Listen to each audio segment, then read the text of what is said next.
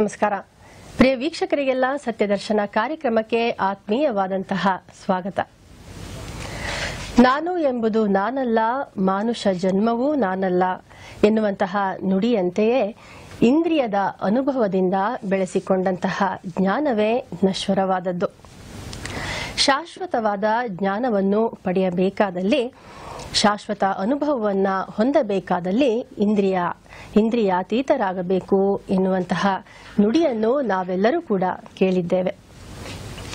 ಅತೀಂದ್ರಿಯತ್ವದ ಮಜಲುಗಳನ್ನು ನಮಗಾಗಿ ನಮ್ಮ ಕಣ್ಣಿಗೆ ಗೋಚರಿಸುವಂತೆಯೇ ವಿವರಿಸ್ತಾ ಇದ್ದಾರೆ. ನಮ್ಮ ನಿಮ್ಮೆಲ್ಲರ ನೆಚ್ಚಿನ ಗುರುಗಳು, ಪ್ರಾಜ್ಞರು, ವೇದಾಂತಿಗಳು ಆಗಿರುವಂತಹ ಡಾಕ್ಟರ್ ಪಾವಗಡ ಪ್ರಕಾಶ್ ರಾವ್ ಅವರು. ಅವರನ್ನು ನಾವೀಗ ಇಂದಿನ ಸಂಚಿಕೆಗೆ ಸ್ವಾಗತಿಸೋಣ. ಗುರುಗಳೇ, ನಮಸ್ಕಾರ. ಸತ್ಯದರ್ಶನ ಕಾರ್ಯಕ್ರಮಕ್ಕೆ ತಮಗೆ ಆತ್ಮೀಯವಾದಂತಹ ಸ್ವಾಗತ. ವಿಘ್ನರಾಜ ವಿಶುದ್ಧವಾಣಿ ವಿಶಿಷ್ಟ ವಿಷ್ಣು ವಿಶೇಷ ಶಂಕರ. ವಾಯು, ಜಲ, ಗಗನ, ಅನಲ, ಅಣು, ಓಂಕಾರ ಬ್ರಹ್ಮಾಂಡ. ಆದಿ ಮಧ್ಯ ಅಂತದ ವ್ಯಾಪ್ತಕ್ಕೆ, ಸಚ್ಚಿತ್ ಆನಂದ ಆತ್ಮಜ್ಞಾನಕ್ಕೆ, ರೂಪು ನೂರರ ಶುದ್ಧ ಚೈತನ್ಯಕ್ಕೆ ನಮೋ ನಮಃ. ಮಹಾಬಲನಾಗಿರುವಂತಹ ಆಂಜನೇಯನ ಪ್ರಶಂಸೆಯನ್ನೀಗ ರಾವಣ ಮಾಡ್ತಾ ಇದ್ದಾನೆ ಅನ್ನುವಂಥದ್ದನ್ನ ಹಿಂದಿನ ಸಂಚಿಕೆಯಲ್ಲಿ ನಾವು ಕೇಳಿದ್ವಿ. ತೇಜ ಪ್ರತಾಪ ಮಹಾಜಗವಂದಿನ ಎನ್ನುವಂತಹ ಬಿರುದನ್ನ ಹೊಂದಿರುವಂತಹ ಆಂಜನೇಯನು ಈ ರಾವಣನ ಹೊಗಳಿಕೆಗೆ ಬೇಸರಿಸಿಕೊಂಡು ಹೇಳ್ತಾ ಇದ್ದಾನೆ, ನನ್ನ ಈ ಶಕ್ತಿಗೆ ಧಿಕ್ಕಾರ ಇರಲಿ, ಯಾಕಂದ್ರೆ ನನ್ನ ಹೊಡೆತದಿಂದ ರಾವಣನು ಸಾಯಲಿಲ್ವಲ್ಲ ಎನ್ನುವಂತಹ ಭಾವವನ್ನ ಆತ ತೋರಿಸ್ತಾ ಇದ್ದಾನೆ. ಇದನ್ನ ಕೇಳಿ ರಾವಣನಿಗೆ ಅತ್ಯಂತ ಅವಮಾನ ಆಗಿದೆ ಅಂತ ತಾವು ಹೇಳಿದ್ರಿ ಗುರುಗಳೇ. ಮುಂದೆ ಏನಾಯ್ತು ಅಂತ ಮತ್ತೆ ಮತ್ತೆ ನೆನಪಿಟ್ಕೊಳ್ಬೇಕು. ಒಬ್ಬನು ಗೆದ್ದ, ಒಬ್ಬನು ಸೋತ ಅಂದ್ರೆ ಸೋತವನಿಗೆ ಸದಾ ಸೋಲು, ಗೆದ್ದವನಿಗೆ ಸದಾ ಗೆಲುವು ಅಂತ ಅಲ್ಲ. ಹೀಗಾಗಿ ಈ ಇಡೀ ಪ್ರಕರಣ ಅದಕ್ಕೆ ಕನ್ನಡಿ ಹಿಡಿಯುತ್ತೆ. ಹನುಮಂತ ಹೇಳ್ದ, ನಿಂಗೆ ಯೋಗ್ಯತೆ ಇನ್ನೊಂದ್ಸಲ ಹೊಡಿ. ಹೊಡೆದು ನೋಡು, ಬದುಕು ನೋಡೋಣ. ಆಮೇಲೆ ಇರೋದೇ ಇಲ್ಲ. ಎಲ್ಲ ವೀರಾಲಾಪಗಳಿರ್ತದೆ ಈಗ ಒಂದು ಮುಷ್ಟಿ ತಗೊಂಡು ಹೊಡೆದ ಹನುಮಂತನಿಗೆ. ಯಾವ್ದಕ್ಕೆ ಹೊಡೆದ? ಬಿದ್ದುಬಿಟ್ಟ ಹನುಮಂತ. ಹತ್ತು ಮುಷ್ಟಿಗಳನ್ನು ಸೇರಿಸಿ ಹೊಡೆದಾಗಲೇ ನಿಂತು ಸ್ತಂಭಿತನಾಗಿದ್ದ. ಇವನು ಮುಷ್ಟಿ ಹೊಡೆದ್ರೆ ಬಿದ್ದೇ ಬಿಟ್ಟನಲ್ಲ ಹನುಮಂತ ಯಾಕೆ ಏನಿರಬಹುದು? ಎರಡು ಕಾರಣಗಳಿರಬಹುದು. ಅಲ್ಲಿ ವಾಲ್ಮೀಕಿಗಳನ್ನು ವಿವರಣೆ ಕೊಡಲ್ಲ. ಎರಡು ಕಾರಣಗಳು ಅಂತಂದರೆ, ಒಂದು, ಎಲ್ಲೋ ಆ ಕ್ಷಣದಲ್ಲಿ ಸ್ವಲ್ಪ ಹನುಮಂತ ವೈರಿಯನ್ನ ಕಡಿಮೆ ಲೆಕ್ಕ ಹಾಕಿಬಿಟ್ಟ. ಹೊಡೆದೇ ಬಿದ್ದ ಈಗ ಅಂತ. ಎಲ್ಲೋ ಅದು ಬಂದಿರಬಹುದು. ನಾನು ಹೇಳಾರೆ ಇದ್ರ ಬಗ್ಗೆ. ಇಲ್ಲಿ ಹನುಮಂತ ಬೀಳೋದು ಅಂದ್ರೆ ಅರ್ಥ ಏನು? ಬಿದ್ದ. ಅಥವಾ ಹನುಮಂತ ಸಿದ್ಧನಾಗಿಲ್ಲ. ಹೇಳ್ತಿದ್ದಾಗೆ ತಿರುಗಿ ಹೆಚ್ಚುತ್ತಾನೆ ಅನ್ನೋ ಕಲ್ಪನೆ ಇರಲಿಲ್ಲ. ಯಾವಾಗ ಹನುಮಂತ ಬಿದ್ದನೋ, ಎಲ್ಲೋ ಒಂದೊಂದು ಸಂದರ್ಭದಲ್ಲಿ ವ್ಯಕ್ತಿ ಎಷ್ಟೇ ಅಯೋಗ್ಯನಾಗಿರಲಿ, ಎಷ್ಟೇ ದುರ್ಮಾರ್ಗನಾಗಿರಲಿ, ಏನೋ ಒಂದು ಒಳ್ಳೆಯತನ ಬರಬಹುದು. ನಾವು ಅತ್ಯಂತ ಒಳ್ಳೆ ಮನುಷ್ಯ ಅಂತ ಅಂದುಕೊಂಡು, ಏ ಒಂದು ಸಾಧು ಕಣಯ ಒಂದು ಮಹಾ ಸನ್ಯಾಸಿ, ಇದ್ದ ಇದ್ದಾನೆ ಕಣೆಯ ಮಹಾ ಧರ್ಮಾತ್ಮ ಕಣೆಯ ಅಂದರು, ಅವನ ಮನಸ್ಸಿನಲ್ಲಿಯೂ ಯಾವುದೋ ಏನೋ ಒಂದು ದೋಷ ಬರ ಬರಬಹುದಾದಂತೆ ಕೆಟ್ಟ ಮನುಷ್ಯರಲ್ಲಿಯೂ ಒಂದು ಒಳ್ಳೆ ವಿಷಯ ಬರಬಹುದಲ್ಲ. ರಾವಣನಿಗೆ ಅನ್ನಿಸ್ತು ಏ, ಹನುಮಂತ ಬಿದ್ದಿದ್ದಾನೆ. ಬೇಡ, ಈಗ ಇವನ ಜೊತೆ ಯುದ್ಧ ಮಾಡಲಿ. ಇನ್ನೊಬ್ಬರ ಹತ್ರಕ್ಕೆ ಹೋಗ್ತಿದ್ದ ಅಂತ ಆ ಕಡೆ ತಿರುಗಿದ. ಅಲ್ಲ, ಆ ಕಪಿಗಳನ್ನ ಈ ಕಪಿಗಳನ್ನ ಹೊಡೆದಾಗ್ತಾ ಇದ್ದ. ಲಕ್ಷಣ ಎದುರಿಗೆ ಬಂದು ನಿಂತ. ಓಹ್ ಲಕ್ಷ್ಮಣ, ನೀನು ಬಂದಿದ್ದೀಯಾ? ನನಗಿವತ್ತು ಮಹಾ ಸಂತೋಷ ಆಗಿಬಿಟ್ಟಿದೆ. ನನ್ನ ಶೌರ್ಯಕ್ಕೆ ಸಮಾನವಾಗಿರತಕ್ಕಂಥ ಒಬ್ಬ ಸ್ಪರ್ಧಿ ಸಿಕ್ಕಿದ್ದೀಯ? ಈಗ ನಾನು ಹಾಗೆ ಮಾಡ್ತೀನಿ, ಹೀಗೆ ಮಾಡ್ತೀನಿ ರಾವಣ ಕೊಚ್ಕೊಳ್ಳಿಕ್ಕೆ ಶುರು ಮಾಡಿದೆ. ಲಕ್ಷ್ಮಣ ಹೇಳಿದ, ನೋಡು, ಹೆಚ್ಚಿಗೆ ಮಾತಾಡ್ಬೇಡ. ನಿನ್ನ ಪ್ರತಾಪವೇನಾದರೂ ಇದ್ರೆ ತೋರಿಸು. ಪ್ರಾರಂಭದ ಒಂದಷ್ಟು ಅಸ್ತ್ರಶಸ್ತ್ರಗಳ ವಿನಿಮಯ ಆಗುತ್ತೆ. ಕೊನೆಯಲ್ಲಿ ರಾವಣನ ಹತ್ರ ಒಂದು ಶಕ್ತಿಯಾಯುಧ ಇರುತ್ತೆ. ಶಕ್ತಿ. ಅದರ ಹೆಸರೇ ಶಕ್ತಿ. ಪಾರ್ವತಿ ಇದು ಅನ್ನೋ ಅರ್ಥದಲ್ಲಿ. ಶಕ್ತಿಯಾಯುಧವನ್ನು ಪ್ರತಿನಿತ್ಯ ಪೂಜೆ ಮಾಡ್ತಾ ಇದ್ದ. ಮುಂದೆ ಒಂದು ಸಂದರ್ಭದಲ್ಲಿ ಈ ಶಕ್ತಿಯಾಯುಧ ಬರ್ತದೆ. ಯಾಕೆಂದ್ರೆ ಈಗ ವಾಪಸ್ ಹೋಗ್ಬಿಡುತ್ತೆ ರಾವಣನ ಹತ್ರಕ್ಕದು ಆ ಶಕ್ತಿಯಾಯುಧ ಅಷ್ಟಘಂಟಾ ಶಕ್ತಿ ಅಂತ ಕರೀತಾರೆ ಅದನ್ನು. ಅದಕ್ಕೆ ಎಂಥ ಶಕ್ತಿ ಇತ್ತು ಅಂದ್ರೆ ಮತ್ತೆ ಇದನ್ನ ನೆನಪಿಟ್ಕೊಳ್ಬೇಕು. ಶ್ರೀರಾಮರ ಬಾಣಕ್ಕೂ ಆ ಶಕ್ತಿ ಇದೆ. ಏನು? ವಿರೋಧಿಯನ್ನ ಹೊಡೆದು ನಾವು ನೋಡಿದ್ದೇವೆ ಸಪ್ತತಾಲ ವೃಕ್ಷಗಳ ಛೇದನ ಮಾಡಿದಾಗ, ಆ ಸುಗ್ರೀವ ಪರೀಕ್ಷೆ ಮಾಡಿದಾಗ, ಆ ಏಳು ತಾಲವೃಕ್ಷಗಳನ್ನು ಭೇದಿಸಿಕೊಂಡು ಪರ್ವತವನ್ನು ಭೇದಿಸಿ ಭೂಮಿಯ ಒಳಗೆ ನುಗ್ಗಿ ಮತ್ತೆ ವಾಪಸ್ ಬಂದು ಶ್ರೀರಾಮನ ಬತ್ತಳಿಕೆಯಲ್ಲಿ ಸೇರಿಕೊಳ್ಳುತ್ತೆ. ಅಂಥ ಶಕ್ತಿ ಇದಕ್ಕೆ. ಹಾಗೆ ಈ ಅಷ್ಟಘಂಟಾ ಶಕ್ತಿ, ಇದಕ್ಕೂ ಅಂಥ ಶಕ್ತಿ. ರಾವಣ ಅಷ್ಟಘಂಟಾ ಶಕ್ತಿಯನ್ನು ತೆಗೆದು ಲಕ್ಷ್ಮಣನ ಮೇಲೆ ಪ್ರಯೋಗ ಮಾಡ್ತಾನೆ. ಲಕ್ಷ್ಮಣ ಸಾಕಷ್ಟು ಅಸ್ತ್ರಗಳನ್ನು ಪ್ರಯೋಗಿಸಿ ಆ ಶಕ್ತಿಯಾಯುಧವನ್ನು ಧ್ವಂಸ ಮಾಡಬೇಕು ಅಂತ ನೋಡಿದ. ಇಲ್ಲ. ಎಲ್ಲವನ್ನು ನುಂಗಿ ಬಂದು ಲಕ್ಷ್ಮಣನಿಗೆ ಅದೇ ಹೊಡೆದು ಬಿಡ್ತು. ಲಕ್ಷ್ಮಣ ಬಿದ್ದಬಾರದು ಅಂದರೆ ಒಂದು ಅರ್ಥದಲ್ಲಿ ವಿಷ್ಣುವನ್ನೇ ಬೀಳಿಸಿದಂತೆ. ಈ ರಾವಣನ ವಂಶ ಪರಂಪರೆಯನ್ನು ನೋಡಿದರೆ ಮಾಲ್ಯವಂತ, ಮಾಲಿ, ಸುಮಾಲಿ ಇವರುಗಳನ್ನೆಲ್ಲ ನಾವು ನೋಡಿದಾಗ ಅವರೆಲ್ಲ ವಿಷ್ಣುವಿನ ವಿರೋಧಿಗಳಾಗಿದ್ದವರು ಅಲ್ಲೆಲ್ಲ ವಿಷ್ಣು ಮಾಲೆಯನ್ನ ಧ್ವಂಸ ಮಾಡಿಬಿಟ್ಟಿದ್ದ ಹಿಂದೆ. ಅವರು ಮೊಟ್ಟ ಮೊದಲು ಲಂಕೆಯಲ್ಲಿದ್ದಾಗ ಅದೆಲ್ಲ ಕಥೆ ಹಿಂದೆ ಹೇಳಿದ್ದೇನೆ ಈಗ ರಾವಣ ಎಲ್ಲೋ ಒಂದು ಅರ್ಥದಲ್ಲಿ ಆ ಹಿಂದಿನ ಎಲ್ಲ ಹಗೆತನ ಇತ್ತಲ್ಲ. ಆ ಹಿಂದಿನ ಎಲ್ಲ ಸೋಲುಗಳಿತ್ತಲ್ಲ. ಅದಕ್ಕೆ ಪ್ರತೀಕಾರ ಮಾಡುವಂತೆ. ಲಕ್ಷ್ಮಣನ ಹೊಡೆದಾಕ್ಬಿಟ್ಟೆ. ಸಾಯಿಸ್ಲಿಲ್ಲ ಹೊಡೆದಾಕ್ಬಿಟ್ಟಂದ್ರೆ ಬೀಳಿಸ್ದ ಅವನು. ಅದನ್ನು ಮತ್ತೆ ನೆನ್ಪಿಟ್ಕೊಳ್ಬೇಕು.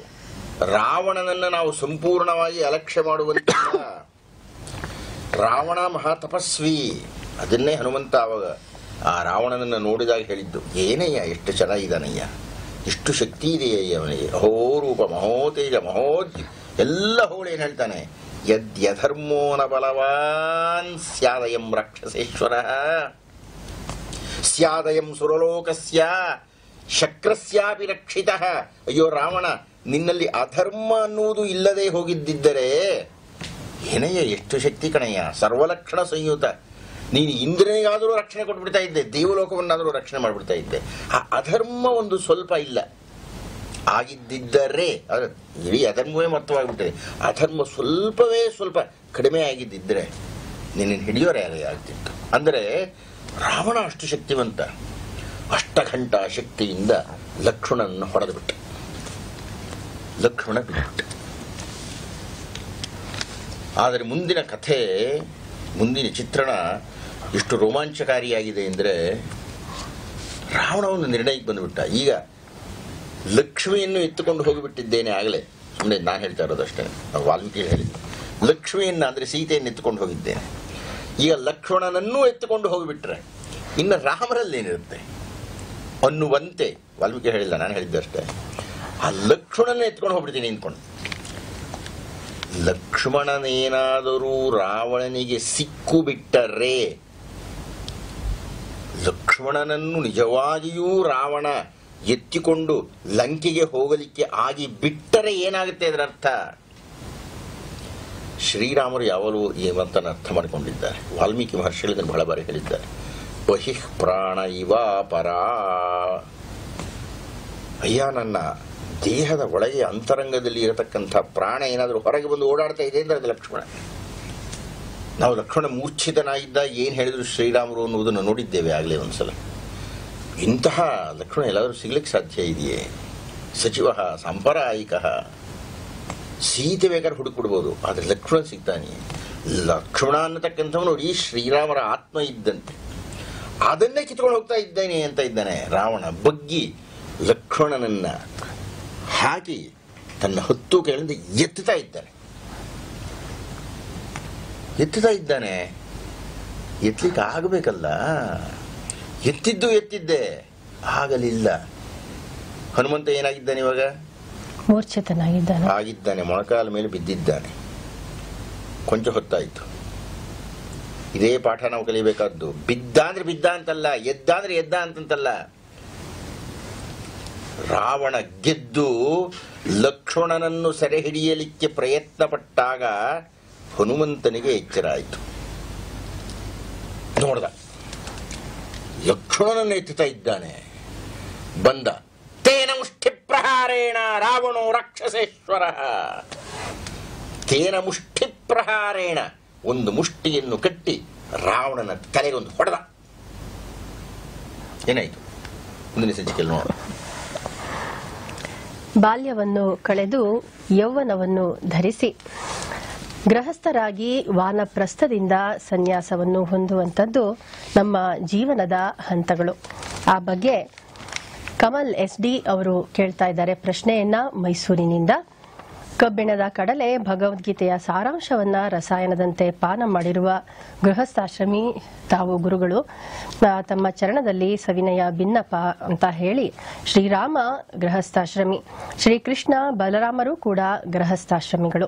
ತ್ರಿಮೂರ್ತಿಗಳು ಕೂಡ ಗೃಹಸ್ಥಾಶ್ರಮಿಗಳು, ಸಪ್ತರ್ಷಿಗಳು ಸಹ ಕೂಡ ಗೃಹಸ್ಥಾಶ್ರಮಿಗಳು. ಅಂದ ಮೇಲೆ ಭಾರತದ ಮಠಾಧೀಶರು ಕೂಡ ಗೃಹಸ್ಥಾಶ್ರಮಗಳು ಏಕೆ ಆಗಬಾರದು ಅಂತ ಇವರು ಮೊದಲನೆಯದಾಗಿ ತಮ್ಮ ಪ್ರಶ್ನೆಯನ್ನ ಕೇಳ್ತಾ ಇದ್ದಾರೆ. ಸ್ವಾಮಿ, ನೀವು ಯಾವ ಉದಾಹರಣೆಗಳೆಲ್ಲ ಕೊಟ್ಟರೋ ಆ ಕಾಲದಲ್ಲಿ ಸನ್ಯಾಸಿಗಳು ಇದ್ದದ್ದು ಕಡಿಮೆ. ಎಲ್ಲೋ ಒಬ್ಬ ವ್ಯಾಸರು.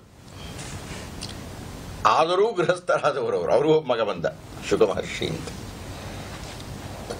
ಸನ್ಯಾಸ ಅನ್ನತಕ್ಕಂಥದ್ದನ್ನ ನಾವು ಬಹಳ ತೀಕ್ಷ್ಣವಾಗಿ ದಾಖಲು ಮಾಡಿಕೊಳ್ಳತಕ್ಕದ್ದು ಮಹಾಭಾರತದಲ್ಲಿ. ಅದು ಬಿಡಿಬಿಡಿಯಾಗಿ. ಶ್ರೀಮದ್ ರಾಮಾಯಣದಲ್ಲಿ ಬರತಕ್ಕಂತಹ ಸನ್ಯಾಸ ರಾವಣ ಸನ್ಯಾಸ.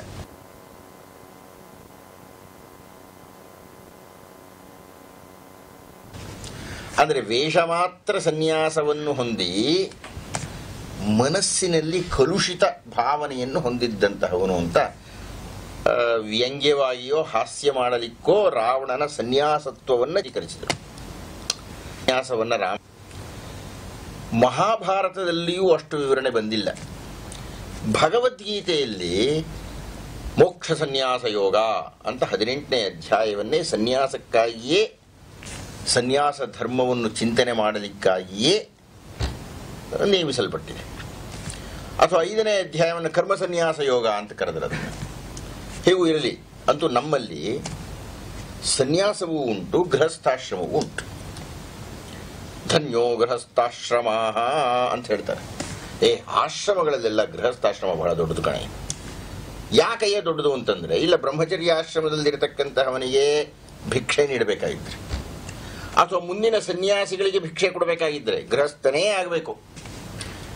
ಗೃಹಸ್ಥ ಇಲ್ಲದೆ ಹೋಗಿಬಿಟ್ರೆ ದೇಶ ಇರೋದಿಲ್ಲ. ಒಂದು ದೇಶ ಅನ್ನತಕ್ಕಂಥ ಭವಂತಿಗೆ ಇಟ್ಟಿಗೆಗಳಿವೆ ಅಂದರೆ ಅದು ಪ್ರಜೆಗಳು. ಎಲ್ಲಿ ಪ್ರಜಾಸಂತತಿ ಜಾಸ್ತಿ ಉಂಟೋ ಅಲ್ಲಿ ಆ ದೇಶಕ್ಕೆ ರಕ್ಷಣೆ. ವಿದ್ಯಾವಂತರೋ, ಕಾರ್ಮಿಕರೋ, ಕೃಷಿಕರೋ ಅದೆಲ್ಲ ಬೇರೆ ಮಾತು. ಅಂತೂ ಪ್ರಜಾಸಂಖ್ಯೆ ಜಾಸ್ತಿ ಇರಬೇಕು. ಎಲ್ಲಿ ಪ್ರಜಾಸಂಖ್ಯೆ ಜಾಸ್ತಿ ಇರ್ತದೆಯೋ ಅಲ್ಲಿ ಒಂಥರ ಏನೋ ಶಕ್ತಿ ಇದೆಯಾ ಇವರ ಹತ್ರ ಪ್ರಜಾಶಕ್ತಿ, ಅದಕ್ಕೆ ಹೊಸ ಚೀನಾಗ ಅಷ್ಟೊಂದು ಬೆಲೆ. ಅಮೆರಿಕವನ್ನು ಮೀರಿಸ್ತಕ್ಕಂಥ ಸ್ಥಾನಕ್ಕೆ ಚೀನಾ ಹೋಗ್ತಾ ಇದೆ ಅಂತ. ಯಾಕೆಂದ್ರೆ ಅಷ್ಟು ಪ್ರಜಾಶಕ್ತಿ ಇದೆ. ಎರಡನೇ ಯಾವುದು? ನಮ್ಮ ಭಾರತವೇ. ಇದಕ್ಕೂ ಪ್ರಜಾಶಕ್ತಿ ಜಾಸ್ತಿ ಇದೆ. ಅಂದರೆ ಈ ಪ್ರಜಾಶಕ್ತಿಯನ್ನು ಪ್ರದಾನ ಮಾಡತಕ್ಕಂತಹವನು ಗೃಹಸ್ಥಾಶ್ರಮಿ. ಹೀಗಾಗಿ ತಾವು ಹೇಳಿದ್ರೆ ಏನು ಸಂದೇಹ ಇಲ್ಲ. ಗೃಹಸ್ಥಾಶ್ರಮ ಅನ್ನತಕ್ಕಂಥದ್ದು ಶ್ರೇಷ್ಠವಾದದ್ದೇ ಗೃಹಸ್ಥಾಶ್ರಮವೇ. ಬೇರೆ ಆಶ್ರಮಗಳಿಗೆ ಆಧಾರಭೂತವಾಗಿರತಕ್ಕಂಥದ್ದು ಹಾಗಂದ ಮಾತ್ರಕ್ಕೆ ಸನ್ಯಾಸಾಶ್ರಮ ಅಲ್ಲ ಅಂತ ಹೇಳಲಿಕ್ಕಾಗೋದಿಲ್ಲ. ಅದು ಜ್ಞಾನ ಮಾರ್ಗಕ್ಕೆ ಸಂಬಂಧಪಟ್ಟಿದ್ದು ಯಾವತ್ತೂ ಅದರ ಸಂಖ್ಯೆ ಕಡಿಮೆನೆ. ಈ ಕರ್ಮ ಮಾರ್ಗ ಹಾಗೂ ಜ್ಞಾನ ಮಾರ್ಗವನ್ನು ನೋಡಿದರೆ ಕರ್ಮ ಮಾರ್ಗದಲ್ಲಿಯೇ ನೂರಕ್ಕೆ ತೊಂಬತ್ತೊಂಬತ್ತು ಜನ. ಶೇಕಡ ಒಂದು ಭಾಗ ಸನ್ಯಾಸಾಶ್ರಮದಲ್ಲಿ ಇರಬಹುದು ಸ್ವಾಮಿ, ನಾನು ತಮ್ಮನ್ನು ಕೇಳ್ತೀನಿ. ಆ ಶೇಕಡ ಒಂದು ಭಾಗ ಸನ್ಯಾಸಾಶ್ರಮಗಳ ಬಗ್ಗೆ ನಿಮ್ಮ ಕೆಂಪು ಗಡ್ಡೆ ಯಾಕೆ? ಸನ್ಯಾಸಾಶ್ರಮಗಳು ಇರಲಿ, ಸನ್ಯಾಸಿಗಳೂ ಇರಲಿ, ಅವರಿಂದ ಲೋಕಕ್ಕೆ ಆಗಬೇಕಾಗಿರತಕ್ಕಂಥ ಉಪಕಾರವೂ ಆಗಲಿ ಅವರೆಲ್ಲ ಮದುವೆ ಮಾಡಿಕೊಂಡು ಹೆಂಡತಿ ಮಕ್ಕಳನ್ನ ಇಟ್ಕೊಂಡು ಮಠ ಸಾಗಿಸಬೇಕು ಅಂತ ಯಾಕೆ ಅನ್ಕೊಳ್ತೀರಿ ನೀವು?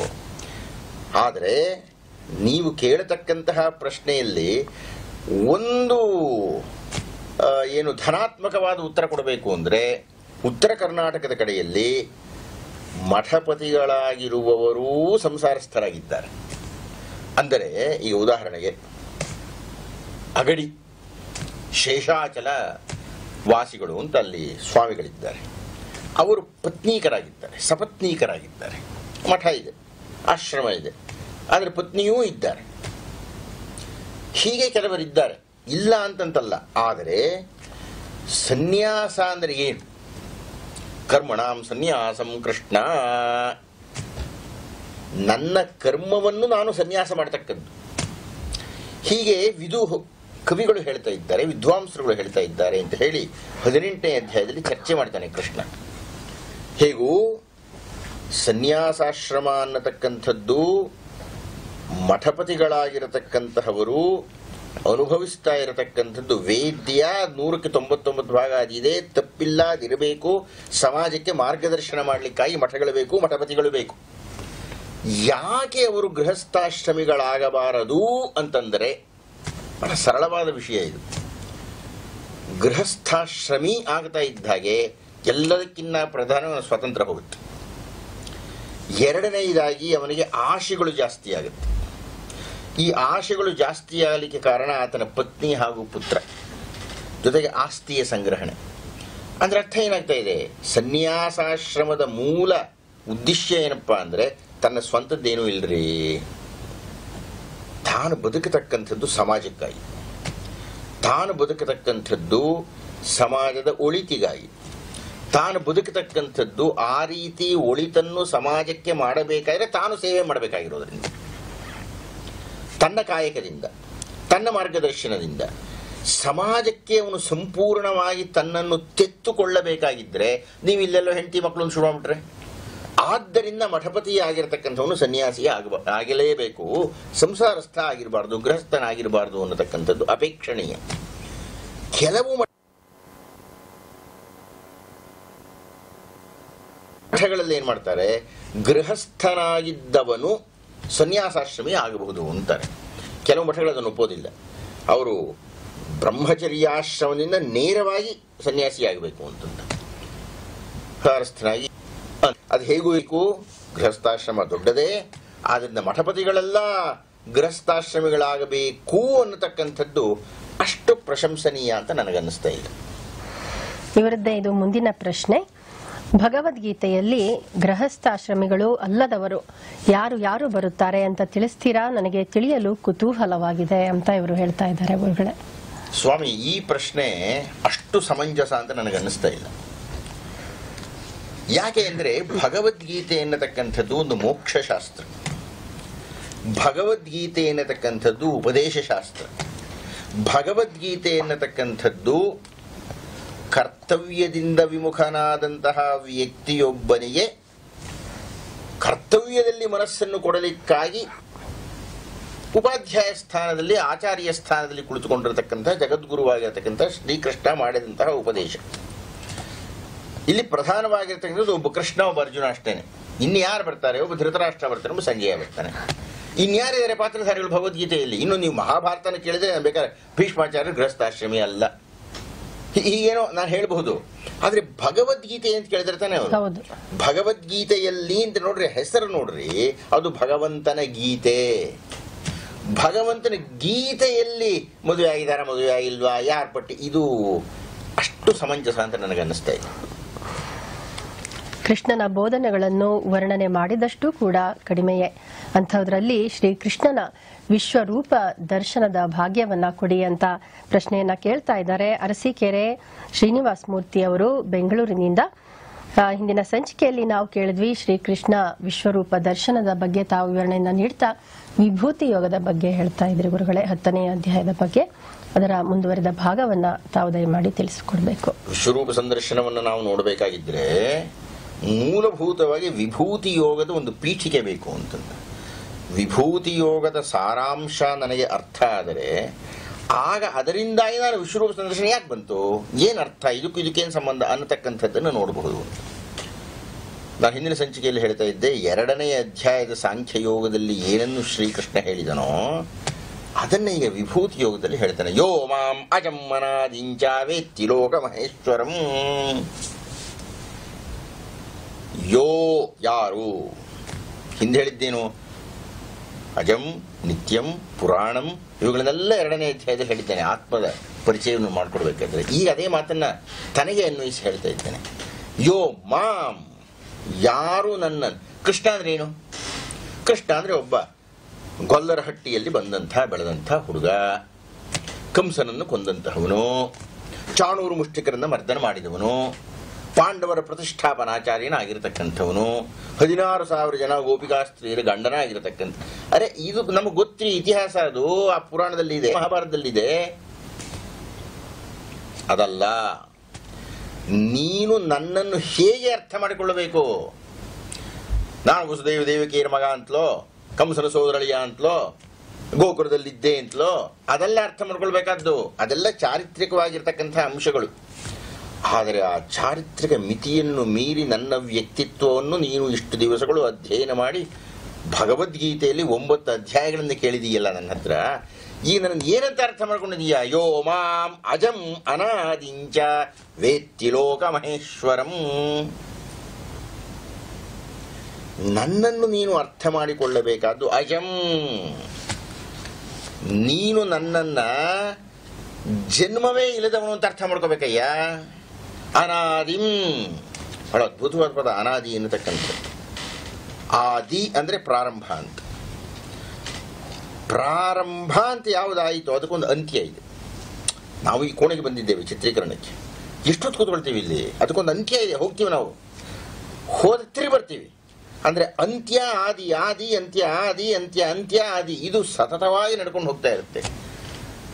ನಾನು ಅನಾದಿ. ಅರೆ, ನಾನು ಆದಿನೇ ಇಲ್ಲ ನನಗೆ ಬರಲೇ ಇಲ್ಲ ನಾನು. ಹೋಗೋದಲ್ಲಿ ಬಂತು. ಎಲ್ಲ ಕಾಲದಲ್ಲಿಯೂ ಇದ್ದೇನೆ. ಈ ಗಗನ, ಆಕಾಶವನ್ನು ನಾನು ನೋಡ್ತೇನೆ. ಏ ಈ ಗಗನ ಎಲ್ಲೇ ಹುಡ್ತು ಎಲ್ಲಿಂದ ಶುರುವಾಯಿತು? ನೀನು ಎಲ್ಲೋ ಬೆಟ್ಟಿಟ್ಕೊಂಡು ತೋರಿಸ್ತೀಯ?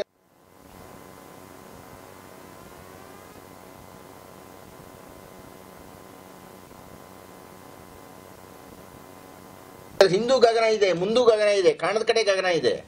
ಅಂದ್ರೆ ಆಕಾಶ ಅನ್ನತಕ್ಕಂಥದ್ದು ಅನಂತ. ಅದಕ್ಕೆ ಅಂತ್ಯವೇ ಇಲ್ಲ. ಆಕಾಶಕ್ಕೆ ಅಂತ್ಯ ಇಲ್ಲ ಅಂತಂದ್ರೆ ಅದಕ್ಕೆ ಆದಿಯೂ ಇಲ್ಲ. ಹೀಗಾಗಿ ಅನಾ ಈಶ್ವರ ಎಂದು ಅಂದುಕೊಂಡಿದ್ದಾರೋ? ಈಶ್ವರ ಅಂದ್ರೆ ಮುಖ್ಯಸ್ಥ, ಮಹಾ ಈಶ್ವರ, ಮಹಾ ಯಜಮಾನ ಮಹಾವಿಭು ವೇತ್ತಿ ಲೋಕ ಮಹೇಶ್ವರಂ. ಸಮರ್ಥ್ಯ. ಯಾವ ಮರ್ತ್ಯ, ಯಾವ ಮನುಷ್ಯ ನನ್ನನ್ನು ಈ ರೀತಿ ಅರ್ಥ ಮಾಡಿಕೊಂಡಿದ್ದಾನೋ ಅವನಿಗೆ ಮೌಢ್ಯವೆಲ್ಲ ಹೋಗ್ಬಿಡುತ್ತೆ ಸರ್ವ ಪಾಪ ಇಹ ಪ್ರಮುಚ್ಯತೆ. ಅವನು ಅಂತ ಎಲ್ಲ ಪಾಪಗಳು ಹೋಗ್ಬಿಡುತ್ತದೆ. ಆದರೆ ಮೊದಲು ಅದನ್ನು ನೀನು ಅರ್ಥ ಮಾಡಿಕೋಬೇಕು. ನಾನು ಯಾರು? ಅಹಂ ಸರ್ವಲೋಕಸ್ಯ ವಿಭು ನಾನು ಇಡೀ ಎಲ್ಲ ಲೋಕಗಳಿಗೂ ವಿಭು. ನಾನು ಈ ಸಮಸ್ತ ಲೋಕಗಳಿಗೂ ಯಜಮಾನ. ಬರೀ ನೀನು ಕಾಣ್ತಾ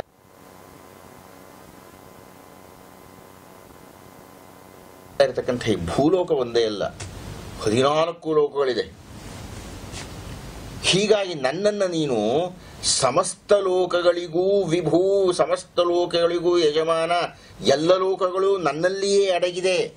ವಿಶ್ವರೂಪ ಸಂದರ್ಶನದ ಮೂಲದ ಭಿತ್ತಿಯನ್ನ ಕೃಷ್ಣ ಹೇಳ್ತಾ ಇದ್ದೇನೆ.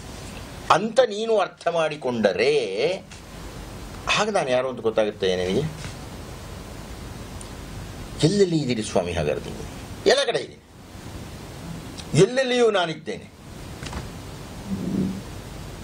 ಹಿರಣ್ಯಕಶು ಹಾಗೂ ಪ್ರಹ್ಲಾದರ ಸಂವಾದವನ್ನು ನೆನಪಿಸಿಕೊಂಡ್ರೆ, ಎಲ್ಲಿದ್ದಾನೆ ನಿನ್ನ ದೇವರು? ಎಲ್ಲೆಲ್ಲಿಯೂ ಇದ್ದಾನೆ.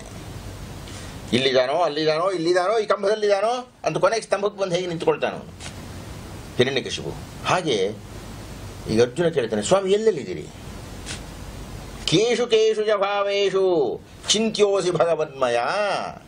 ಸ್ವಾಮಿ, ನೀವು ಹೇಳ್ತಾ ಇದ್ದೀರಿ, ಎಲ್ಲೆಲ್ಲೂ ಇದ್ದೇನೆ. ಆದರೆ ನನ್ನ ಪೆದ್ದ ತಲೆ ಗೊತ್ತಾಗ್ತಿಲ್ವಲ್ಲ, ಎಲ್ಲೆಲ್ಲೂ ಇರೋದು? ಹೀಗಾಗಿ ಎಲ್ಲೆಲ್ಲಿಯೂ ಇರಬಹುದಾದಂತಹ ನೀವು, ನನಗೆ ಎಲ್ಲಿ ಸ್ವಲ್ಪ ಚೆನ್ನಾಗಿ ಕಾಣಿಸ್ತೀರಿ? ಅಂದ್ರೆ ಅರ್ಥ ಏನು ಅಂದರೆ, ಈಗ ಭೂಮಿಯ ಒಳಗೆ ಚಿನ್ನದ ಅದಿರು ಇದೆ. ಮಣ್ಣಿನ ಒಳಗೆ ಬೆರೆತು ಬಿಟ್ಟಿದೆ. ಚಿನ್ನದ ಅದಿರು, ಅದು ಚಿನ್ನವೇ? ನನಗೆ ಗೊತ್ತಾಗುತ್ತೆ ಎಲ್ಲೋ ಭೂಗರ್ಭದಲ್ಲಿ ಗಣಿಗಳನ್ನು ಒಗೆದು ಒಳಗೆ ಹೋಗಿ ಆ ಚಿನ್ನದ ಅದಿರು ತಗೊಂಡು ಬಂದರೆ ಮಣ್ಮಣ್ಣಿರುತ್ತದು ಈ ಚಿನ್ನ ಕಾಣ್ತೀಯ ನನಗೆ?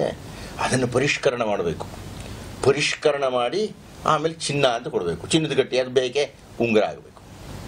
ಅಂದರೆ ಚಿನ್ನ ಅಂತ ಹೇಳಿದ್ರು ಇದು ಉಂಗುರವಾಗಿ ಕಾಣಿಸ್ಬೇಕು ನನಗೆ. ಹಾಗೆ ಹೇಳಿ ನೀವು. ನೀವು ಎಲ್ಲೆಲ್ಲೂ ಇದ್ದೀರಿ ಅಂತ ಹೇಳಿದರೆ, ಕೇಶು ಕೇಶು ಚ ಭಾವೇಶು ಚಿಂತ್ಯೋಸಿ ಭಗವನ್ಮಯ. ಭಗವಂತ ನಾನು ನಿನ್ನನ್ನು ಯಾವ ರೂಪದಲ್ಲಿ, ಯಾವ ಭಾವದಲ್ಲಿ, ಯಾವ ವಿಧಾನದಲ್ಲಿ ನೋಡ್ಲಿಕ್ಕೆ ಸಾಧ್ಯ ಇದೆ? ಹೇಳಿದ ಆಗ ಕೃಷ್ಣ ಹೇಳಿದ, ಆದಿತ್ಯಾನಾಮಹಂ ವಿಷ್ಣು ಜ್ಯೋತಿಷಾಂ ರವಿರಂ ಶುವಾನ್ ಮರೀಚಿರ್ ಮರುತಾಮಸ್ಮಿ ನಕ್ಷತ್ರಾಣಾಮಹಂ ಶಶಿ. ಆದಿತ್ಯಾನಾಮಹಂ ವಿಷ್ಣು. ವಿಷ್ಣು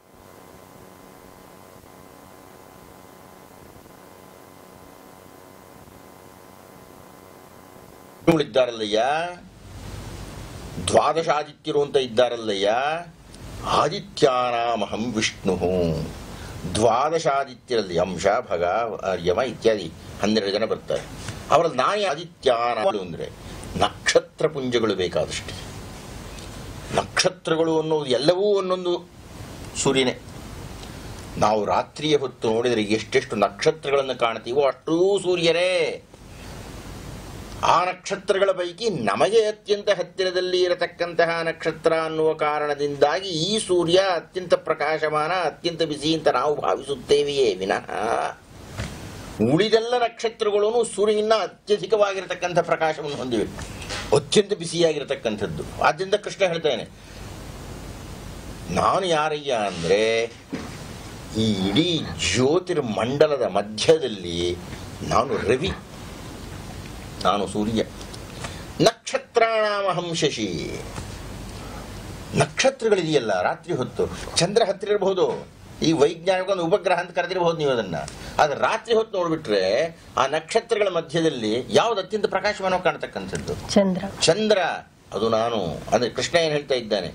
ಏನೇನನ್ನು ನೋಡಿದರೂ, ಎಲ್ಲೆಲ್ಲಿ ನೋಡಿದರೂ, ಹೇಗೆ ಹೇಗೆ ನೋಡಿದರೂ, ಯಾವ ಯಾವ ಭಾವಗಳಲ್ಲಿ ನೋಡಿದರೂ, ಯಾವ ಯಾವ ವ್ಯಕ್ತಿಗಳನ್ನು ನೋಡಿದರೂ, ಯಾವ ಯಾವ ದೇವತಾ ಸ್ವರೂಪಗಳನ್ನು ಪರಿಭಾವನೆ ಮಾಡಿದರೂ, ಅದರೊಳಗಿರತಕ್ಕಂಥವನ್ನು ನಾವು.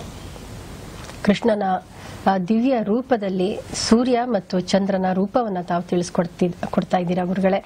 ಆತನ ಇನ್ನೊಂದಷ್ಟು ರೂಪಗಳನ್ನು ನಾವು ಮತ್ತೆ ಮುಂದಿನ ಸಂಚಿಕೆಯಲ್ಲಿ ನೋಡೋಣ. ಇಂದಿನ ಸಂಚಿಕೆಯ ಕಾಲಾವಕಾಶ ಮುಕ್ತಾಯ ಆಗ್ತಾ ಇದೆ. ನಿಮ್ಮಲ್ಲೂ ಕೂಡ ಇಂತಹ ಸಂದೇಹಗಳು ಇದ್ದಲ್ಲಿ ನೀವು ನಿಮ್ಮ ಪ್ರಶ್ನೆಗಳನ್ನು ಈ ವಿಳಾಸಕ್ಕೆ ಕಳುಹಿಸಬಹುದಾಗಿದೆ. ಉಪಮಹಾನಿರ್ದೇಶಕರು ಸತ್ಯದರ್ಶನ ವಿಭಾಗ, ದೂರದರ್ಶನ ಕೇಂದ್ರ ಜೆಸಿ ನಗರ, ಬೆಂಗಳೂರು.